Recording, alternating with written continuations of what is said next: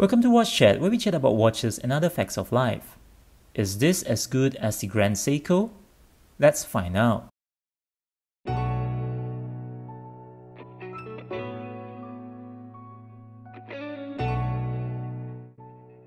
This is not your ordinary Seiko, it is the King Seiko, a brand that was reborn in the year 2022. King Seiko has a lot to offer and this is the 110th anniversary limited edition, the SPB 365J1.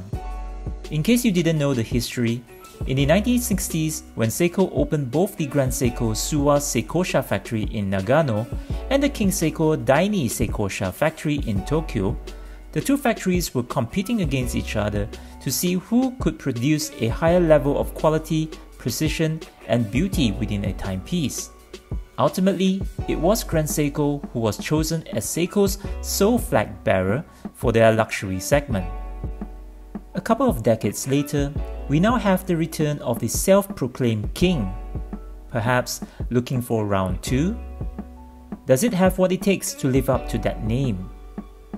The case here is made out of stainless steel with quite a few sharp edge design as seen here on the lugs. Predominantly, they are all brush finish at the front and side of the case, save for the edge on the lugs that is handsomely polished giving out that bling. The polished surface is probably Zaratsu style. Even if it's not, I will say that it is as close as it can get. The angular cuts kinda remind me of the Sharp Edge series. If you think that the Sharp Edge series can be coiled as the baby Grand Seiko, the King Seiko here is probably a better fit. If you've missed my review video on the Sharp Edge series, I'll put a link in the description below. This timepiece has a 37mm diameter, is 12.1mm thick and 43.6mm lug to lug. For a modern watch, it is pretty compact. However, proportion-wise, I feel that the King Seiko could probably do better. Perhaps reducing the size of the lugs or have a 18mm lug width instead of 19mm. The fixed bezel here is rather tall, however they are all polished finish. The bracelet here is a controversial one. You either like it or hate it. Whilst the design may look a little dated, I must say that it is pretty comfortable, and it is not a scratch magnet. The front of the 7-piece link are brushed and so is the side.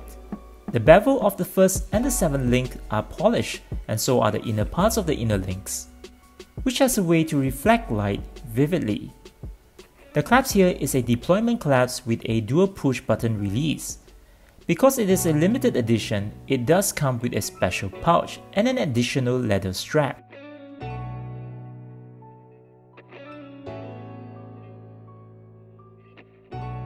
Underneath the closed case back is a 6R31 caliber workhorse. The case back and the crown has the new King Seiko emblem. Personally, I think a crown emblem would probably be better suited instead of a shield, since it is King Seiko, LOL. The box-shaped sapphire crystal is equipped with AR coating on the inner surface. The unique design is inspired by the birthplace of King Seiko, i.e. Kameido in Tokyo, Kameido used to be an island shaped like a turtle shell, hence the turtle shell stamp on the dial. The texture dial has a dark brown gradient hue which has a hint of gold in the center. The design on the hands and indices are similar to those used in the Grand Seiko.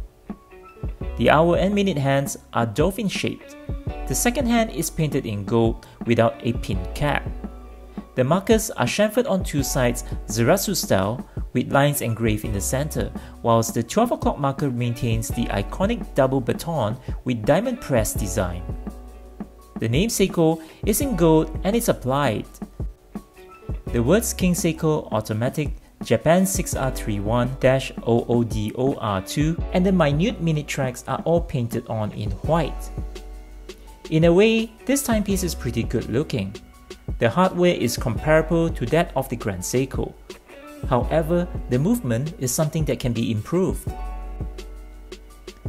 I don't think the objective here is to market to those sitting between the Seiko and the Grand Seiko as we already have some Seiko timepieces that are trying to hit above their waist and some GS timepieces that are more affordable.